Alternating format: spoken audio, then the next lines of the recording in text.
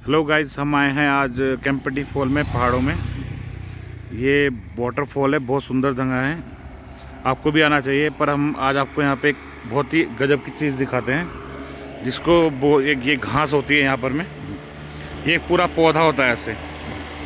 ये पौधा बहुत ही ख़तरनाक होता है। इस पर ऐसे छोटे छोटे पूरे कांटे बने होते हैं। ये बहुत जहरीले होते हैं, अगर आपके हाथ में चुभ गया। तो आपको बहुत ही ज़्यादा दर्द होगा जो आप सहन नहीं कर पाएँगे। आपके आँसू भी निकल जाएँगे इसको, इसके दर्द से। और ये बहुत अच्छी सब्ज़ी बनती है इसकी। इसको बोलते हैं बिच्छू घास। कंडाली। कंडाली बोलते हैं, बिच्छू घास बोलते हैं। यहाँ पहाड़ों में इसका साग बनाया जाता है, मंडवे की रोटी के साथ। कंडाली का साग खाया जाता है, बहुत टेस्टी होता है।